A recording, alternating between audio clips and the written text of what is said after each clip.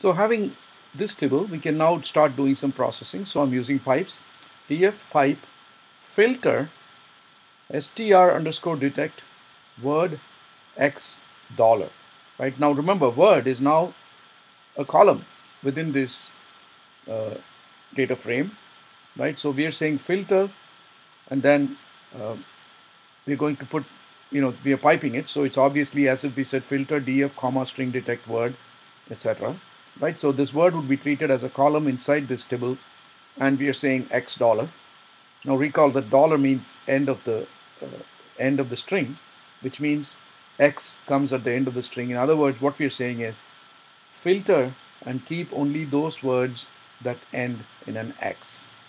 So if you did that, that's the result you get. Of course, I think there are some more words, I'm not sure, but you can see how it happens. And of course, you're now seeing the index of where these words actually figure within your data frame or within the table. So that's one kind of operation that we can do with uh, uh, when we have our data within tables and we want to use regular expressions. Okay, so that was one. Let's look at some more. Uh, we You can use str count, which is a function that tells us how many matches occurred. Right. So let's take a simple example first. So we are saying we've got this table, apple, banana, I mean uh, the vector. I'm just showing you the example first with a vector. And then we are saying str count x comma a. That is, we want to find out for each of these words how many times the letter a occurs in the word. So the result is going to be obviously 1 for apple, it's going to be 3 for banana, a, a, a, and it's going to be 1 for pear, and that's the result you see here. Okay, so you can find this. Now, uh, why, how might you use str underscore count in the context of of an actual tibble. This was just a vector where I showed you the, uh, the basic use of the function. Now in the context of a tibble, let's say we want to find out on the average how many vowels are there per word in our word uh, uh, thing in stringr. But of course, word is already a column in our df, so we'll use that. So we can just do, of course, here I'm directly using words.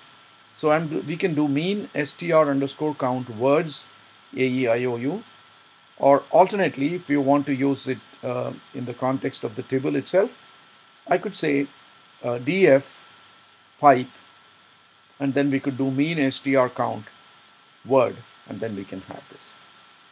Okay, so you could do it uh, that, that way as well. So here I've just shown it to you with uh, with the regular vector itself, not using the, the table.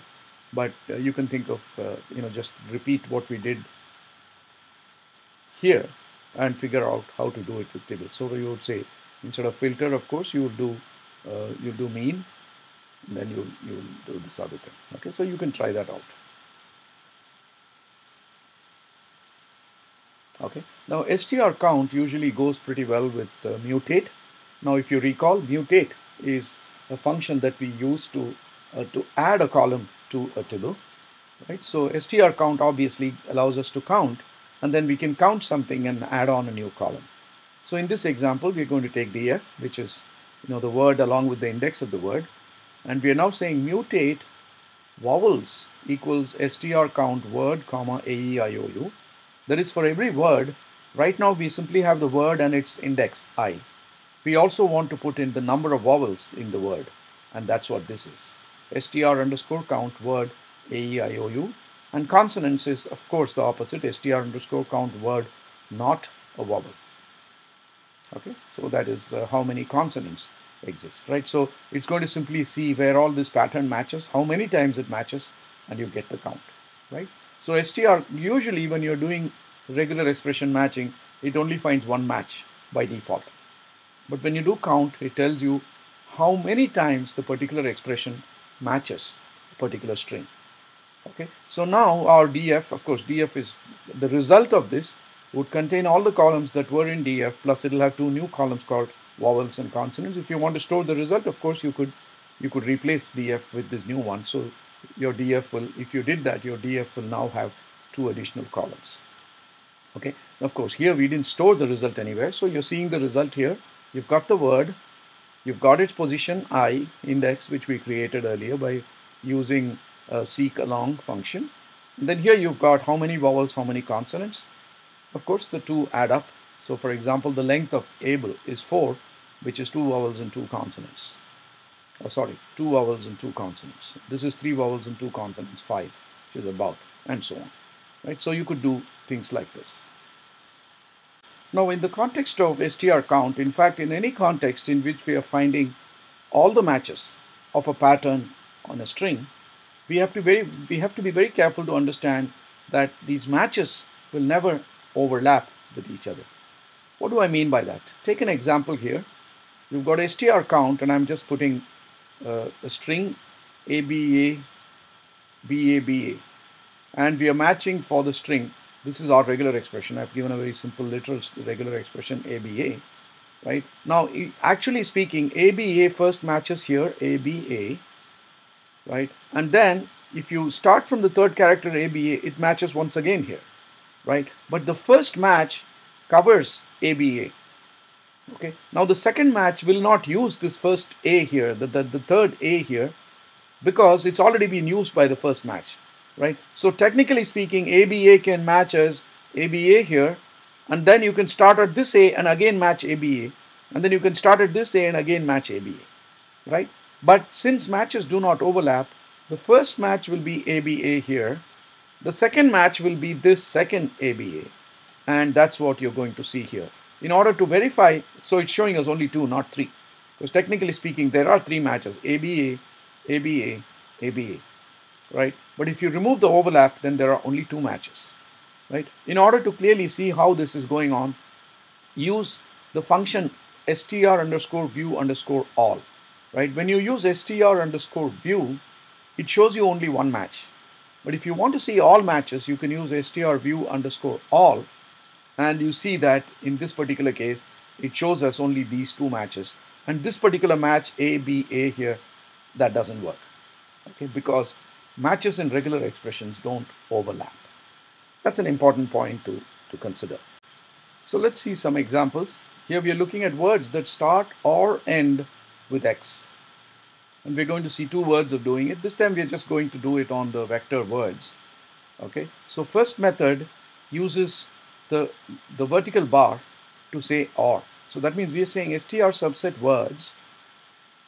And the regular expression says either it starts with x which is the anchor caret starts with x or x dollar ends with x. That is it either contains this pattern or contains this pattern. Okay, so that will give us all the words which start or end with x. Okay, so that's one way to do it. Another way to do it, of course, is longer way. This is obviously the preferred way. Method one is preferred. It's simple, it's elegant, it's very concise, does the job. In method two, we construct two expressions, right? So you've got str underscore subset words starting with x, caret x, and then you've got another words ending with x, x dollar. So you construct a vector consisting of all of these words. C, this is one bunch of words, another bunch of words. So together we are putting it all together into one vector, right? And then we are doing a unique, right? So it's possible that there are some words which begin with x and which also end with x. There are no such words, I think, in our set of words, but it's possible, right? So we don't want any of these words to, to repeat, so we say unique. Okay, this is a long-winded way of doing this. This is obviously a preferred way of doing this. And then you can do it in a third way, which is to uh, you know specifically construct instead of putting it all together like this we are saying start x is string detect words which start with x words with end with x and then we can do words of start of x uh, or start underscore x or end underscore x because remember uh, string detect gives us a boolean vector right so that's uh, we're not using subset here we are using string detect it gives us a boolean vector so we can then use that to operate it like this. Okay, now of course methods 2 and 3 are just long-winded, there's no point. One is far better, right? When we are doing regular expressions, uh, it's always a good idea to see what we can accomplish by using just regular expressions rather than going through other functions. But of course, there are some situations where you might need to do that. Uh, and also when you're solving a problem, your goal is, in so is to solve the problem. So you get the job done, that's fine. You don't need to really worry about uh, did I completely use regular expressions or not. with time, as you use regular expressions more and more and more, uh, you'll start getting the confidence and the practice and the insight to construct powerful regular expressions that can get all the job done, uh, the whole job done with one regular expression. Another example, we want to say, let's say we want to find the words that start with a vowel and end with a consonant. Okay. So again, uh, of course, it's a good idea for you to try it out before you look at my answer. So pause the video and using all the prior knowledge that you have, try to solve this problem. Uh, and I'm going to show you two ways of doing this. Okay, so I'm assuming now that you have stopped the video and uh, tried out the problem. So now you can take a look at my solution.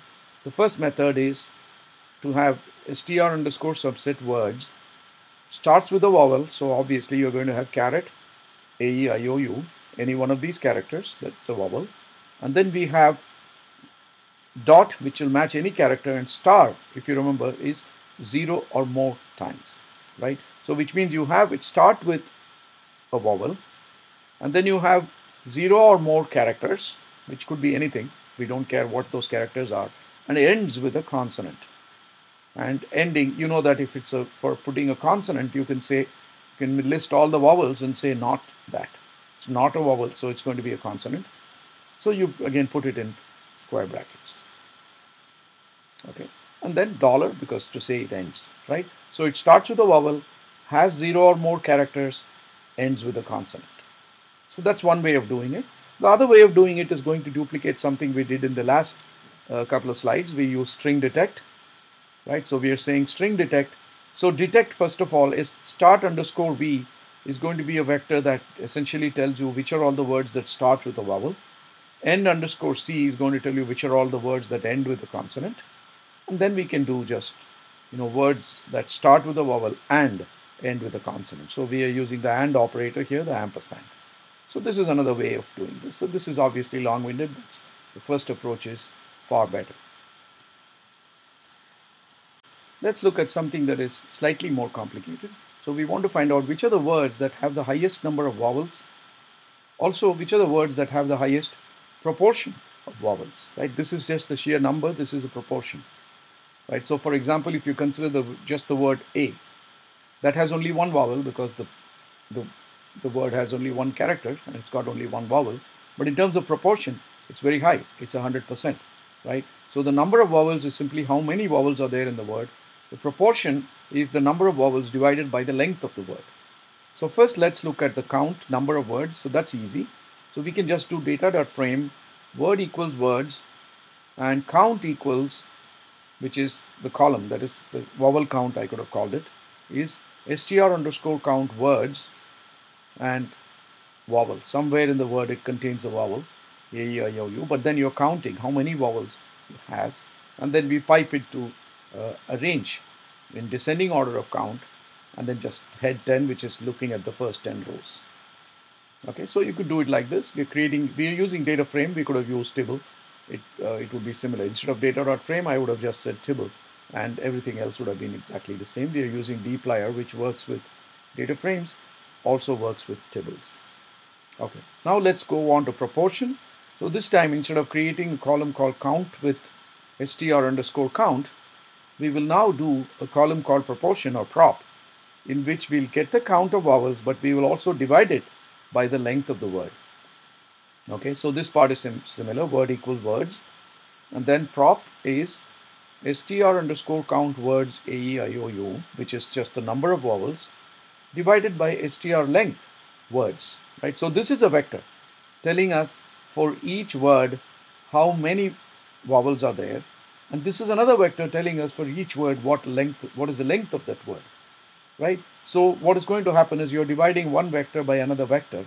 So what the result you will get is a vector which consists of the first element divided by the first element, second element by the second element, third element by the third element, and so on. So ultimately, what you will have is for every word, you will have its proportion of vowels. Right? And then, as before, we are going to arrange it with descending order of proportion, and then we are going to take the first 10 uh, elements on it. Okay, so you could do this kind of processing as well using the uh, tibbles or data frames dplyr, piping, filtering, arranging, all of these things, uh, you know, and uh, mutating if we want. We didn't do any mutate in this particular example, but we have seen mutate in other examples, uh, and we are doing all of that. In this case, we are not mutating, we're just creating a new data frame altogether.